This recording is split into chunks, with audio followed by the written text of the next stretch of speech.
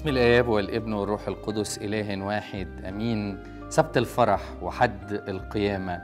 بعد ما ربنا يسوع المسيح أعطانا فداء عظيم على عود الصليب وسلم الروح على الصليب وقبر ودفن. بقى ربنا يسوع المسيح يوم السبت في القبر. يوم السبت يوم جميل. يمكن ما عندناش ليه أحداث مذكورة كأحداث كانت بتحصل زي أحداث أسبوع الآلام ولا حتى بعد القيامة. لكن نسميه سبت الفرح لأن فيه كان ربنا بيضيء بنوره على الجالسين في الظلمة. علمنا الكنيسة أن ربنا في اليوم دون نزل إلى الجحيم أيد الشيطان وفتح باب الفردوس وأخرج أرواح الأبرار؟ والصديقين والناس اللي كانوا رقدوا على رجاء قيامته المجيدة ودخل بهم إلى الفردوس زي ما قال للص اليمين وهو على عود الصليب لما اللص اليمين قدم توبة اليوم تكون معي في فردوس النعيم. عشان كده يمكن لحد النهاردة ربنا يعطينا علامة هي جميلة وهي خروج النور المقدس يوم سبت الفرح. نور أضاء به ربنا على كل الذين كانوا في القبور لكن كل اللي كان منهم صديقين وكانوا أبرار. لحد فجر الحد فجر يوم الحد فجر يوم القيامة يوم الفرح. يوم النصرة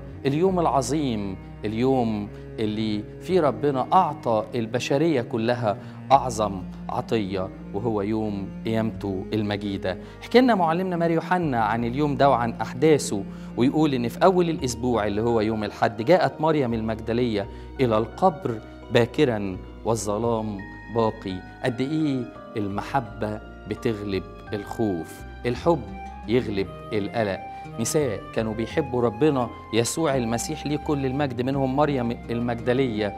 يروحوا والظلام لا يزال باقي رغم إن أورشليم كلها كانت مضطربة لأحداث الصليب والأحداث كتيرة كانت حصلت وعلامات كتيرة كانت حصلت وقت الصليب.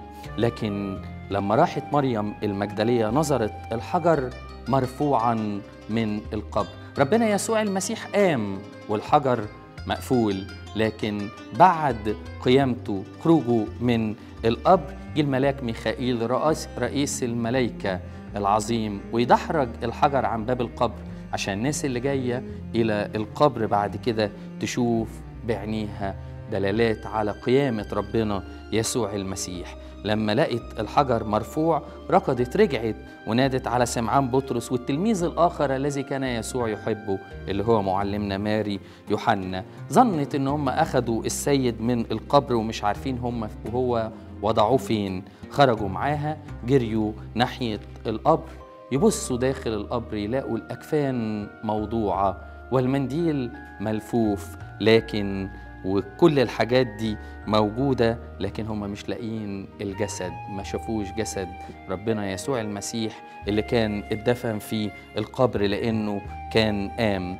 كانوا محتارين وكانوا عمالين يفكروا يا ترى هو إيه اللي بيحصل.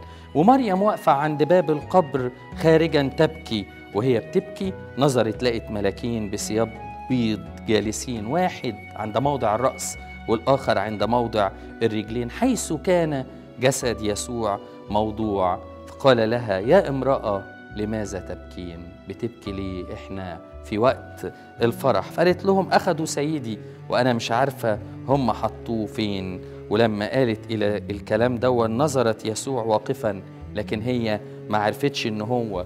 ظنته البستاني بتقول له ما تعرفش أخدوا يسوع ودوه على فين؟ فقال لها انت كل ده لسه مش عارفة. قال لها يسوع يا مريم فالتفتت تلك وقالت له رابوني الذي تفسيره يا معلم. لا اذهبي بقى وعرفيهم بريهم بقيامتي المجيدة بالنصرة بالحياة الجديدة اللي ربنا أعطاها لنا أن يكون لينا فيها. وياه مكان في السماء. فجاءت مريم المجدلية وأخبرت التلاميذ أنها رأت الرب وأنه قال لها هذا. وفي عشية اليوم الأولاني عشية يوم عيد القيامة والأبواب مغلقة وكانوا التلاميذ مجتمعين في العلية بسبب الخوف من اليهود جه يسوع وقف في وسطهم وقال لهم سلام لكم. ولما قال لهم ده وراهم إيديه وجنبه ففرح التلاميذ إذ رأوا الرب. وقال لهم سلام لكم كما أرسلني الآب أرسلكم أنا. ولما قال هذا نفخ وقال لهم اقبلوا الروح القدس من غفرتم خطاياه تغفر له ومن أمسكتم خطاياه أمسكت.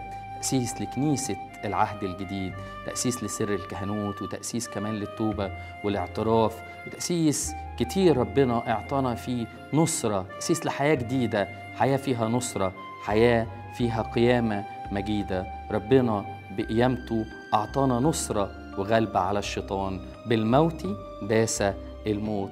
أعطانا قوة أعطانا مرة تانية أن يكون لينا مكان وياه في الفردوس ومنه إلى الملكوت.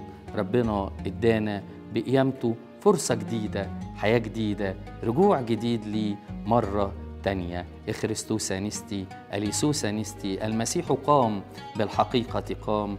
كل سنة وحضراتكم طيبين. عيد قيامة مجيد لربنا كل مجد وكرامة من الآن وإلى الأبد.